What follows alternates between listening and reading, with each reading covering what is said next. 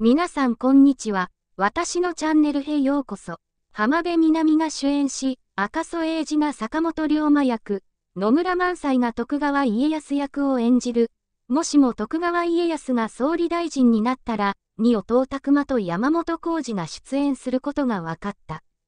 写真、浜辺美波赤楚衛二野村萬斎ら出演。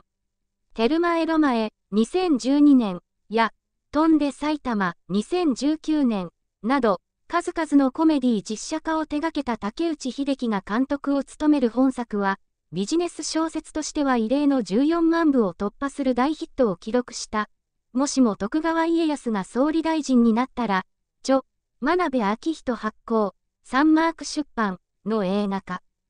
この度、最強ヒーロー内閣を支える偉人2名の新キャストが解禁。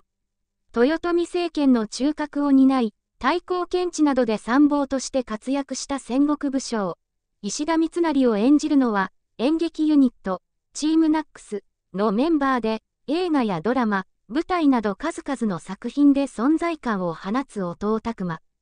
本作では、財務副大臣として復活。コロナ禍、全国民に50万を10日間以内に支給する財務大臣、秀吉のとんでもない政策、対抗給付金の政策指揮官を務める石田三成を、その定評のある演技力で威厳たっぷりに演じる。お父さんは竹中直人に対して、秀吉を演じられた竹中直人先輩は永遠に私のベスト秀吉アクターですので、家臣として使えるのは幸せな時間です、と特別な思いを述べている。竹中さん演じる財務大臣、豊臣秀吉とのコンビネーションにも注目だ。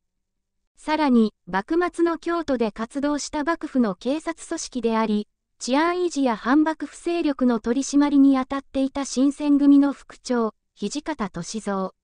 演じるのは、大河ドラマや連続テレビ小説など多くの作品で歴史上の偉人を演じてきている中、土方歳三役は本作でなんと6回目となる山本浩二。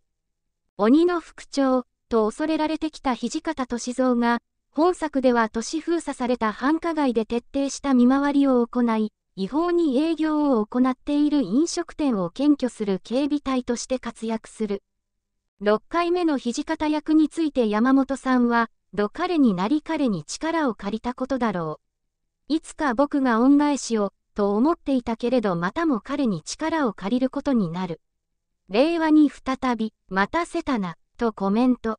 豪華キャストによる最強ヒーロー内閣と、彼らを支える二人の活躍に期待が高まる。コメント、音尾拓馬、とても振り切った設定の作品ですが、竹内監督が明確なビジョンを持っておられるので、的確な演出を受けながら今回の石田三成像を作り出すことができました。今作の石田三成は現代に蘇った三英傑以外の戦国武将の代表として、メイク一つとっても実に戦国武将らしくいられたのではないか思います。秀吉を演じられた竹中直人先輩は永遠に私のベスト秀吉アクターですので、家臣として使えるのは幸せな時間です。信長役を演じられた GACKT さんが役柄を追求していく姿にプロフェッショナルを感じ、昨年の大河ドラマで長い時間を共にした小手真也氏とも新たな時間を過ごし、眉毛を塗りつぶして重たい着物に身を包んで挑む水木有沙さんの姿に感動し、スタッフの皆様の作品作りにかける情熱に突き動かされて撮影しておりました。この映画は、きっとご覧になる皆様に楽しんでいただける作品になっていると思います。山本浩二、今回で何度目になるんだろう。何度彼になり彼に力を借りたことだろう。いつか僕が恩返しを、と思っていたけれどまたも彼に力を借りることになる。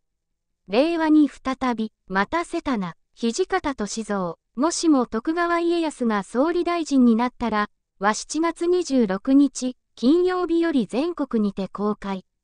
どこだと思いますか？次は CU でした。